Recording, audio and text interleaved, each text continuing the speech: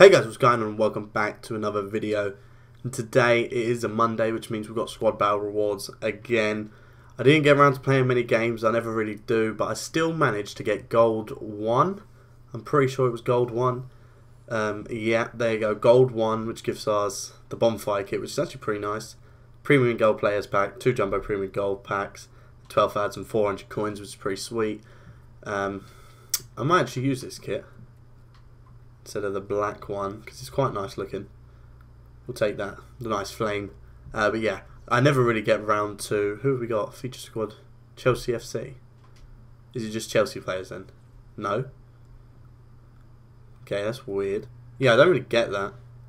It's Chelsea FC, but there's not one Chelsea player in there. So I don't know who's designed that. It's a bit of a weird one. But whatever it is, what it is. Let's get into our. Why have we only got two packs?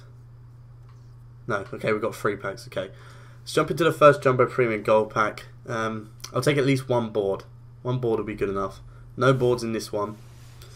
It could still be something decent, worth money. Bakayoko? Nah. If it was Bakayoko, that would have been worth a bit. Um, but it's not. 77 overall doesn't really make me think we'll get anything decent. Um, and it doesn't really look like it. We'll take that stuff. We'll send these two to the trade pile. Liga MX, we might go for a bit. Um, but we'll quick sell that.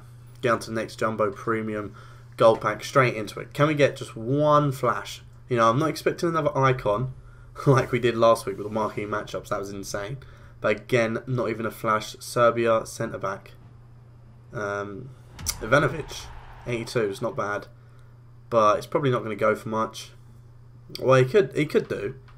82 overall, Russian league, hmm, maybe like a thousand coins. We'll stick him up because I don't really need, I don't need him for the Russian league because I've already got that league done, uh, that team done for the SBC, so we don't really need him.